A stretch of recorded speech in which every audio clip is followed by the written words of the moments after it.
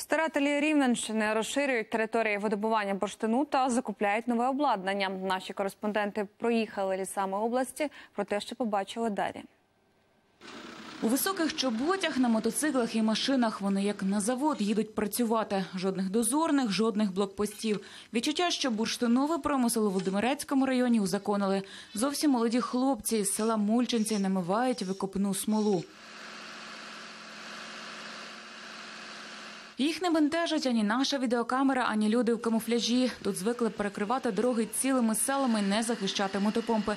Тому ніхто не тікає. Ворушитися починають тільки після суворого попередження. П'ять хвилин і вас нема. Ось так від дільниці до дільниці поліцейські зупиняють видобування. Щоб вилучити помпи, потрібно кілька десятків людей зі зброєю і готовність іти на ризик, приміром, втратити службові автомобілі. Старателі трощать їх без страху. Силу бійці оперштабу не застосовують, щоб не загострювати конфлікти. А поліцейські в райвідділках не квапляться розслідувати такі інциденти.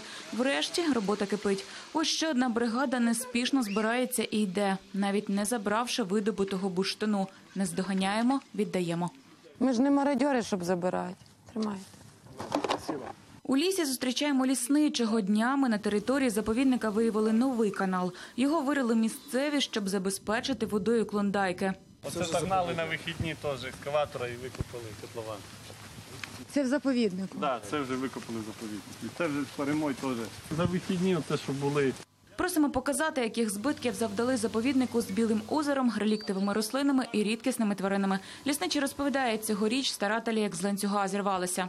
Вже якщо заїхати от зараз глянути просто, що робиться, то вже тих типових і унікальних природних комплексів для полісся вже немає.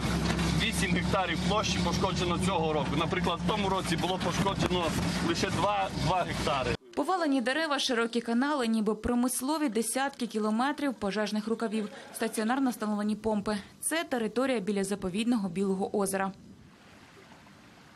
Тут в окрузі, якщо рахувати більську волю, мульчиці озірці до 500 помп. Думаю, що за той рік так багато набрали цих мотопомп. І дуже важко боротися з ним.